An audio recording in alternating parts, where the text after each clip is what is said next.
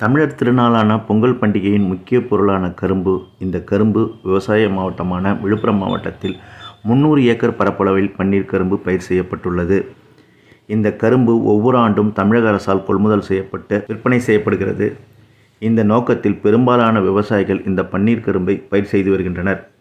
Acre ஒன்றுக்கு ரூபாய் ஒரு லட்சத்துக்கு மேல் செலவாகும் இந்த கரும்பு பொங்கல் பண்டிகைக்கு மட்டுமே பயன்படுத்தப்படும்.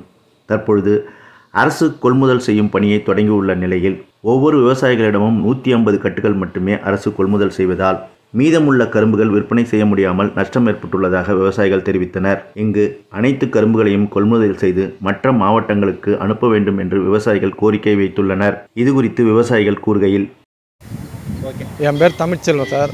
விழுப்புரம் மாவட்டம் விவசாயி கரும்பு விவசாயி பன்னீர் கரும்பு சாகுபடி பண்ணுறேன் நாங்கள் கிட்டத்தட்ட ஒரு பத்து வருஷமாக சாகுபடி பண்ணின்னு இருக்கிறோம். இப்போ வந்து எப்படி கரும்பு எடுக்கிறாங்கன்னா விழுப்புரம் மாவட்டத்துக்கு மட்டும்தான் எங்கள் கரும்பை எடுக்கிறேன்னு எடுக்கிறாங்க. அதே ஆறேகால் லட்சம் கரும்புன்னு எடுக்கிறாங்க. இதே வந்து எங்கள் கரும்பு எடுக்கிறதுனால இப்போ சராசரி வந்து எங்களுக்கு வந்து எங்கள் கரும்பில் வந்து கால் பங்கு கரும்பு தான் எடுக்கிறாங்க.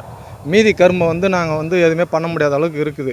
இப்போ நீங்கள் என்ன பண்ணோம் இங்கே இப்போ மற்ற மாவட்டத்துக்கு எங்கள் கரும்பு அனுப்பணும். இப்போ சென்னைக்கு கரும்பு இல்லை.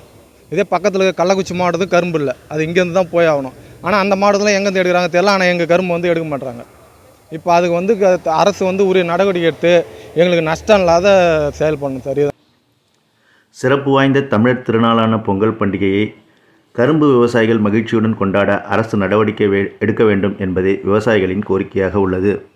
புதிய செய்திகளுக்காக விழுப்புரத்திலிருந்து ஜி. சுரேஷ்.